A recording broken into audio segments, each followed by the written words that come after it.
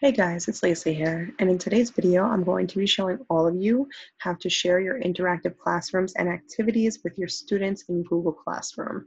Now, I've been seeing a lot of people say that they have a preference as to the method that they use to share different documents with their students. What I'm going to tell all of you is that it depends on, I would say, two things. One is you, your preference, what you find easiest, and the second is the type of activity or, or document that you're trying to share with them. And I will explain. So I have here an activity that I made. It's, it's a game, okay? So um, if I just quickly just throw this into the present mode, you'll see it's a money counting game. So students have to look at the ice cream that's circled and they have to decide which is the correct amount. Okay, and then you click on the amount and it says good job, okay? Um, if I click the wrong one, it's gonna give me an error message, okay? Um, so a couple ways that you can share documents are one, by publishing it to the web and then using that link. You can also make sure that it's in view only mode and you can just share that document in uh, the classwork section of your Google Classroom and I'm going to show you right here, okay? Um, so for example, for, for that actual game, I can't download it as a PDF and then upload it that way because it's not going to work. So you see here, I have already done that and I wanna show you what happens. Absolutely nothing. I cannot click, I cannot play the game. So I can't save it as a PDF. Okay, it's also not gonna work by, and let me go back and show you. People say that they can go to file, download, I'm sorry, publish to the web, Okay, problem is here is that this is going to want to switch your slides every three seconds. So that function that you have in there where you have certain things linked to other slides, it's not going to work. So my only option for something like this is to go into share.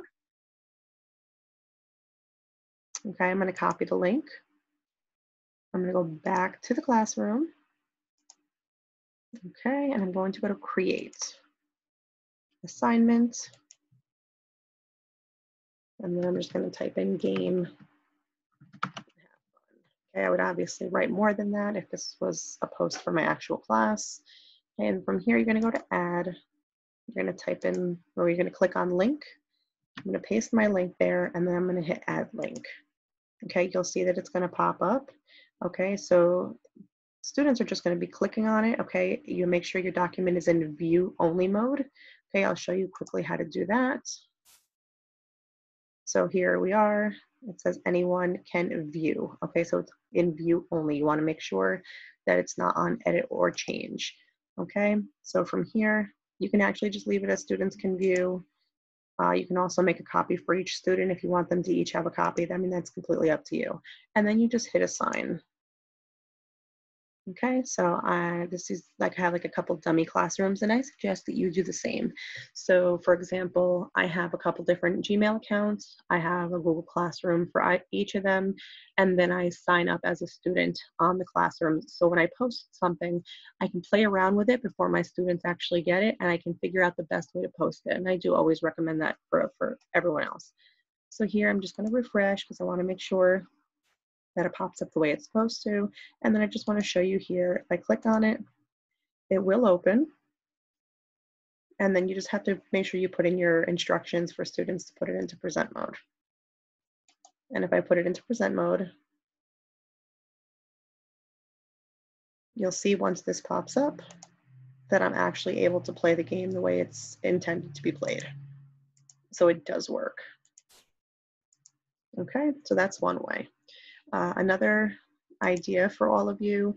So here I have like your typical interactive classroom, okay? It says click the books to enter practice activities or stories, okay? So I have embedded the links for those activities in each one of the books, okay? Something like this, you can download it as a PDF.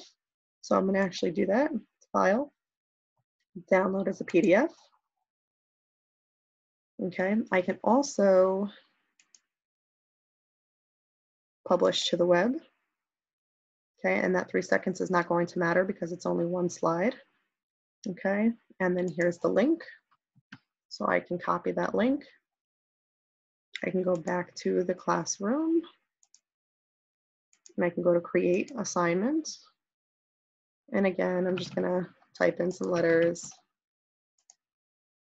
I'm gonna put link, paste that in, and then add link. Okay, and then this will take the students straight to, and I will hit assign and I will go back as a student just to show all of you. Okay, so here we go. Let me just refresh the page. Okay, so now, okay, here's that craziness that I just wrote. If I click on it, this was published to the web, it automatically pops up in present mode. And if I click on one of these, okay, this is actually a video, I just linked something to it just to show you that the links actually work. Okay, if I want to also demonstrate what it would look like to put that PDF in. Again, we'll just put some craziness in here. You're going to hit add, you're going to want to hit file, and then you'll see upload from your device. Okay, enrichment classroom, it's right there, my PDF. I'm going to upload that, and I'm going to hit assign. Once again, I'm just going to hop back over as a student. Okay, and I'm just going to refresh the page so that the new activity pops up. Okay, here it is. So now as a PDF, I just want you all to see that I'm still able to click the links. So for a one page with something like that, you're able to, to do the same thing, okay? And then one more, I have here an author study. Now this is an author study slash web quest that I made for uh, Laura Numeroff. So she's the author of all of those If You Give a Mouse a Cookie books. And so I actually have places on here where I want students to write. And there are places on here where students need to be able to obviously click on the, the mice on each one of the pages to go to a website and find the answers to the questions that I posed.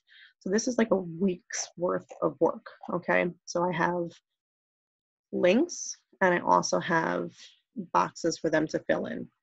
For something like this, again, I'm gonna wanna go, I'm gonna take the link from here, make sure that it's in view only so they can view. I'm gonna copy the link. And then as a teacher, I'm gonna go back, I'm gonna hit create. And for this one, because of the multiple slides and because of um, the way that I, I need this to work, um, I want the students to be able to write in it. I'm going to give it a title, type in some instructions. I'm going to put this in as a link. And for this one, I am definitely, definitely going to want to make a copy for each student because each student is going to have to write on the slides. If you do not make a copy for each one of your students, they're all going to trying to be write in, writing in the same document, and you definitely do not want that to happen. Okay, so I'm just gonna hit sign here. So it's assigning. Okay. And obviously that's not saved with my other, my other email. So I'm just gonna quickly save that. And I made myself an editor, obviously. Okay, now when I go back to my teacher classroom here and I hit create and assign, this time it'll definitely work.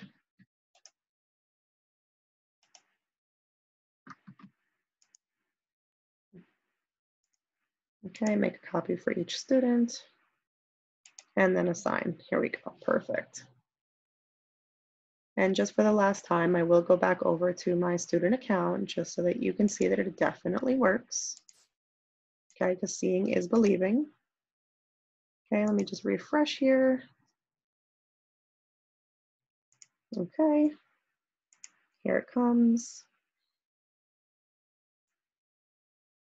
Okay, so I can always throw this into present mode or not. Okay, but if you notice now, I can click in the box and I can type my answers.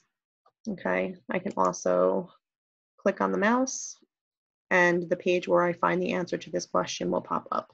So this is these are several different ways that you can share activities or interactive classrooms with your students in Google Classroom. But like I said, it's all about preference and it's all about what you want your students to be able to do with the documents.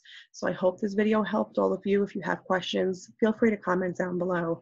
But please, as always, do not forget to like this video and subscribe to my channel and hit that notification bell so that you don't miss my future videos. Take care, everyone.